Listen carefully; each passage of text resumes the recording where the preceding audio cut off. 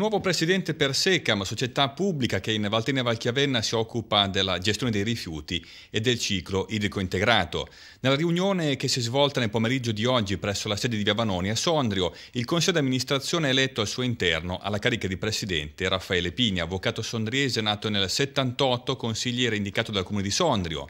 Il nuovo presidente, per la formazione e l'esperienza professionale che lo contraddistinguono, spiega Secam in una nota, potrà garantire un contributo di rilievo nella realizzazione del piano economico-finanziario approvato dall'Assemblea dei Soci il 9 dicembre scorso.